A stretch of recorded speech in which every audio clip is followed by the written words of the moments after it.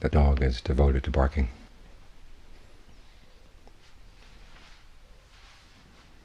If we could be as devoted to our breaths as he is to barking, we'd go quite a ways.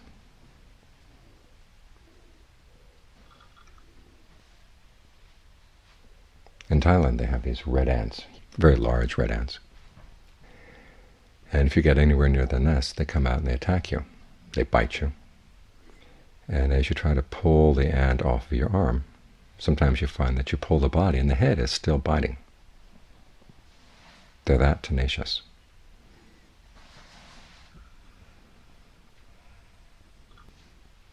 And it's an analogy that's frequently used in, in the Thai tradition. Hold on to your meditation object with the same tenacity as red ants when they bite. It may sound paradoxical. After all, this is a teaching where we're told to let go, let go, that suffering is clinging and the, the end of suffering is found in letting go. That's only part of the story. As the Buddha once said, it's a basic principle in the culture of the, of the noble ones, the customs of the noble ones, that you delight both in developing and in letting go. In other words, you let go of unskillful mental habits, but you work on developing the skillful ones. This takes work, this takes dedication, it takes tenacity. It requires that you hold on.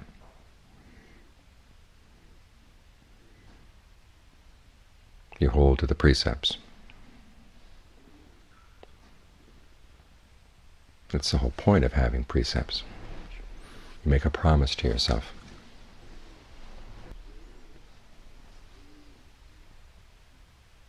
We all have precepts to some extent in our in our lives. Now, the basic principles that we hold to, we're not out there killing all the time or stealing all the time.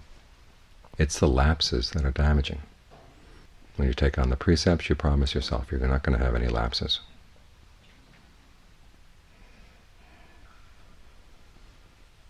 You hold to the precepts in the same way those red ants bite.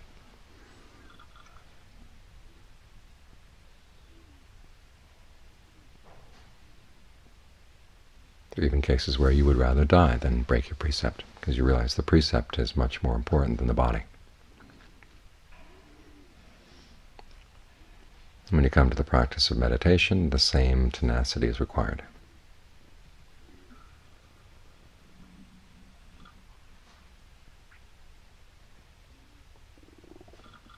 And you stick with it. The Buddha said it's not always going to be an easy path. He says, grief actually plays a part in the path of the practice, realizing that there's a goal that you haven't yet attained. And the sense of frustration or the sense of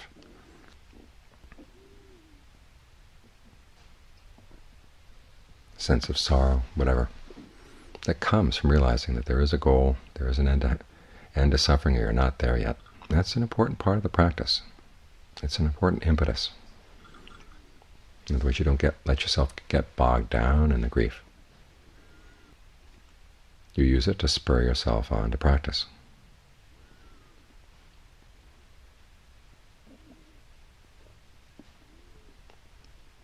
He says, at the very least, the, the grief of knowing that you're on a path and haven't attained the goal is a lot better than the grief of not being on a path.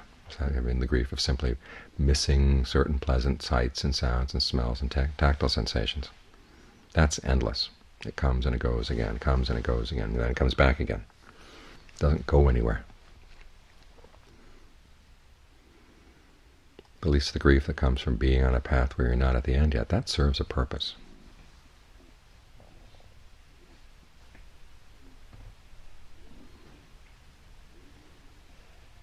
So the Buddha doesn't want us to wander around like zombies, just being apathetic and saying, well, I just won't have any desires and that'll be it. That doesn't accomplish anything. The path requires work. And the skill, of course, in the work is learning how to do it in such a way that you don't wear yourself out. This is why concentration is the heart of the path. Basic factors, ease, fullness. These give you the nourishment you need along the path. This is why it's important to work with the breath. Figure out what kind of breathing feels good.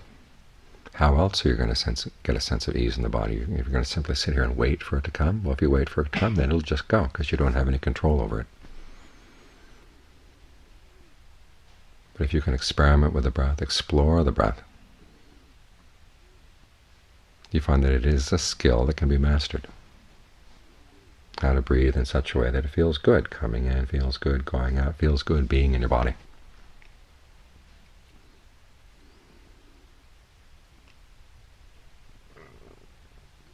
The different passages in the text where the Buddha talks about different analogies for factors of the path. Concentration is always compared to food. It's the nourishment that keeps you going, the sense of ease, the sense of rapture or fullness, the sense of equanimity that you can develop.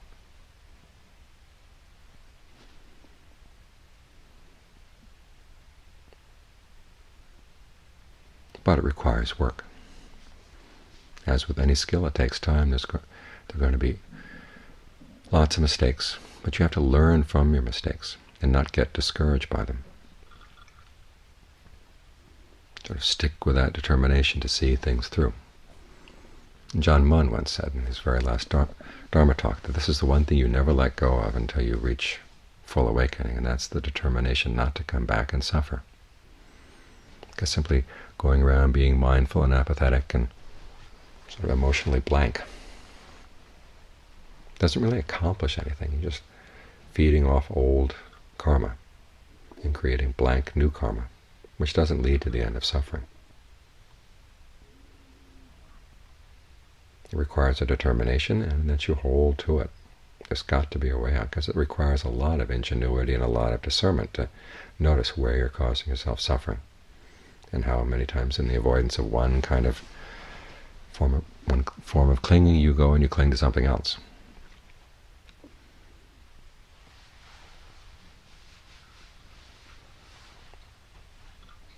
And the path lies in learning how to take that habit to an advantage. In other words, when you leave one clinging, go to one that's more skillful. Like holding on to the breath rather than holding on to your old ways of thinking. Open yourself to the possibility that holding on to the breath really can take you through a lot of things that in the past you thought you had to worry about this, had to worry about that, had to plan for this, that, the other thing. And there are a lot of situations where simply holding on to the breath, this sense of being in the body, fully inhabiting the body, can provide you with a foundation actually to be in a better position to see what needs to be done. So why the Buddha stressed that principle of respect for concentration, having some trust in your concentration. Not that everything that's going to pop into your mind as you sit here meditating is going to be reliable. But at the very least, when you're mindful and centered, you're a lot more likely to get good responses, good inspirations out of the mind than you are when you're just running around frantically.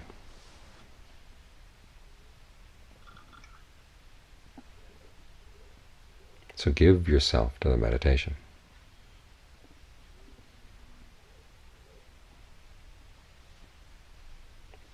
Then don't let yourself be dissuaded by whatever difficulties come.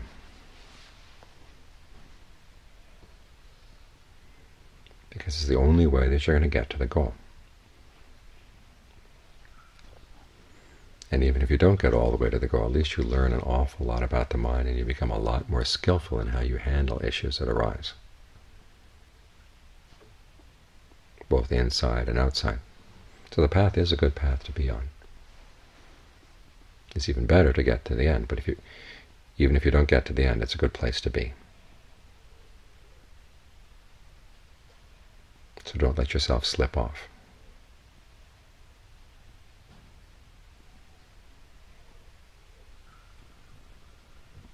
Be the sort of person who finds finds pleasure in being up for challenges, being willing to learn all the time.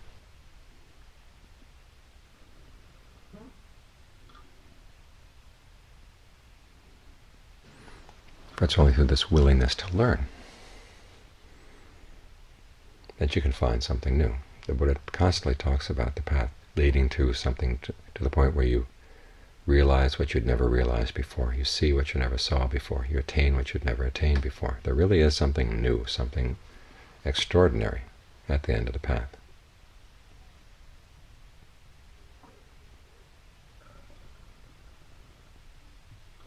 but it requires all eight of the factors of the path, everything from right view through right effort to right concentration.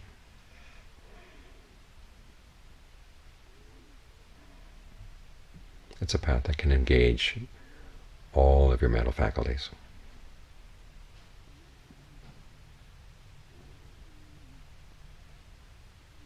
It's one of the few things in life that really is worth holding on to. For most of us, clinging means to cling to things as an end in and of themselves. So the Buddha takes that habit and he says, let's switch that a little bit, cling to the path as a means to an end.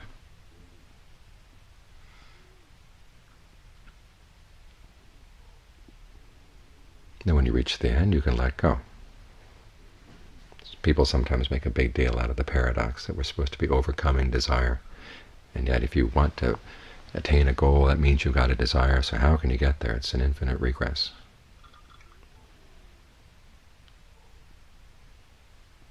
But remember that teaching, Ananda's teaching to the Brahmin. The Brahmin came to a park one day where Ananda was staying and said, what's the purpose of this practice here? And Ananda said, it's one of the purposes is the overcoming of desire. And then the Brahmin said, well, how do you do that? And Ananda said, well, develop the basis of success. And one of the bases of success is concentration founded on desire. The Brahmin said, well, in that case, it's an impossible path. It's an endless path. How can you overcome desire through desire? He thought he got Ananda there. And there's that sense of gotcha when people bring up this issue. But Ananda wasn't fazed. He said, well, you came here to this park, right? Yes. And before you came here, didn't you have the desire to come? Yes. And once you got here, where's that desire? Well, it's gone, because he's arrived. So you use desire to bring yourself to a point where you don't really need desire anymore. That's what's special about the path. Other things you hold on to life, and they they leave you wanting. Never really fulfilling.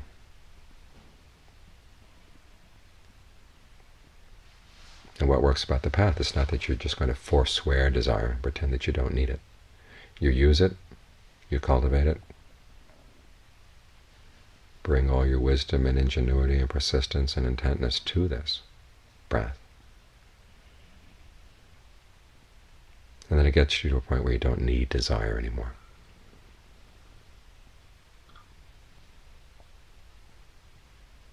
The ultimate happiness is that fulfilling. So as long as you're not there, learn to cultivate skillful desire.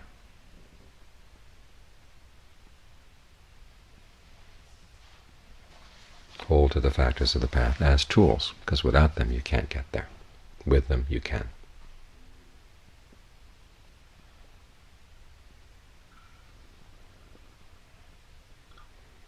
Then when you've completed the work, that's when you put them down for good.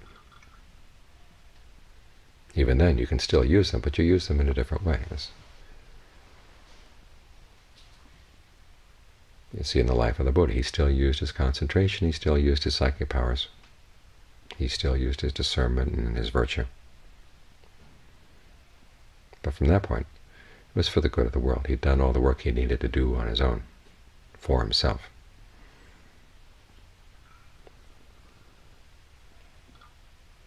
And for the rest of his life he used those tools for the sake of the world at large.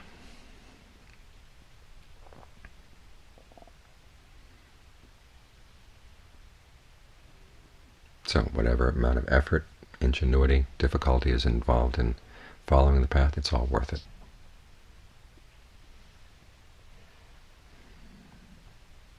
And don't think you can get to the end of suffering any other way.